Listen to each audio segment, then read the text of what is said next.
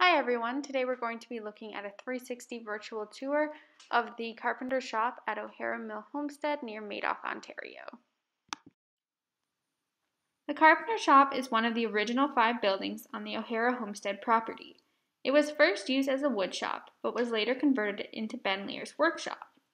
A carpenter was a major necessity to the homestead. Most of the furniture and tools used by the O'Hara family were made in this building with Ben's own hands. Many of his pieces are still on display throughout the homestead today. So we're going to be taking a look at some of the artifacts that can be found within this building. First, we have Ben Lear's portrait. This carpenter shop belonged to Ben Lear, who was the brother-in-law of James O'Hara, Jr. Ben lived in the attic of the house. Once the former wood shop was converted into the carpenter shop it is now, he lived in the upper level of the shop. Beside it we have this woven seated chair, which was made by Ben Lear during his time at O'Hara. The seat is made from wood and bark strips that were made at the mill on site. Other chairs made by Lear are located in the museum house. Next, we have a sawhorse. This tool was used to make wooden handles for various tools. As we rotate around to the left here, we have the cobbler station. One of the many things Ben Lear would have used his tools for was repairing shoes. Living on a homestead meant having to make your own repairs, and this station demonstrates one aspect of this task.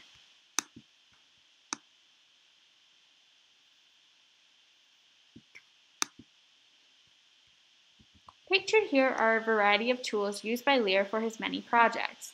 A trained carpenter would need to be trained in the many uses for each tool. This would require a period of time as an apprentice to learn the trade.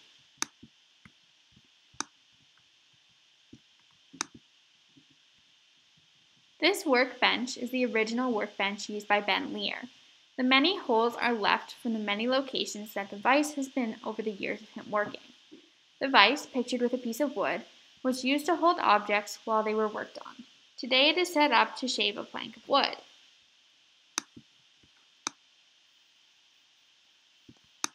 Here we see the ladder that leads up to where Ben Lear would have slept. We have a number of tools over here as well.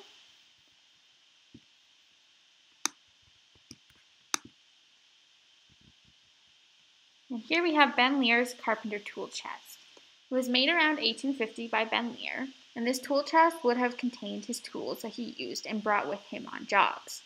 The chest itself was originally painted green and would have been a prized possession, as it would demonstrate his abilities as a carpenter. And that concludes our 360 tour of the carpenter shop at O'Hara Mill.